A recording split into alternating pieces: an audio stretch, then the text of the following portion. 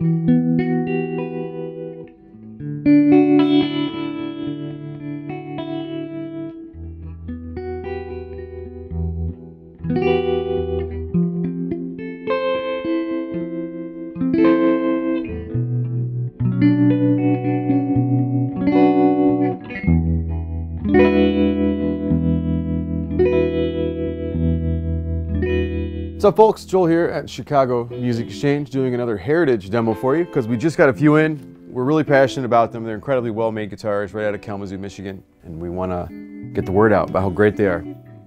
This is the H530, which is a fully hollow body electric guitar with P90 pickups. These are Lollars, which are some of the best P90s in the market. They sound great.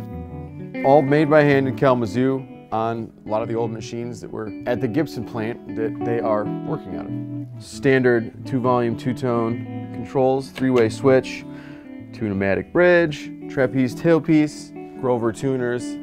This is very similar to an ES330 or from Gibson or a Casino from Epiphone. Um, old school rock tones galore.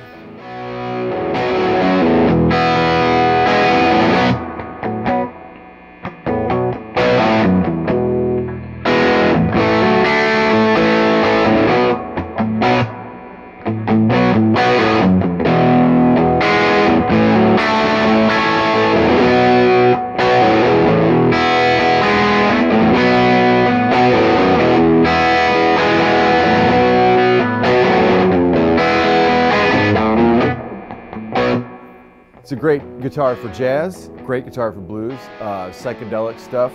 Feeds back a little more easily than a semi-hollow body guitar because there's no block in there, which can be very, very fun musically.